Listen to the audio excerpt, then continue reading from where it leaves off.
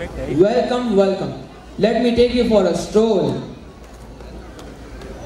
Now, they all arrive in Northeast, where they are amazed to see the natural landscape. Northeast India is comprised of Assam, Arunachal Pradesh, Manipur, Meghalaya, Mizoram, Nagaland, Sikkim and Tripura. What? I'm enthralled by the scenic beauty of Assam. Oh, what's there? It is our rustic folk dance from Northeast region, which is performed to celebrate agricultural harvest. This dance is performed on every big small occasions in Mizoram. It is generally performed on moonlit night that adds a glory to it. The bamboo dance or Cheraw dance is a signal dance performed in Mizoram which is an integral part of each festival.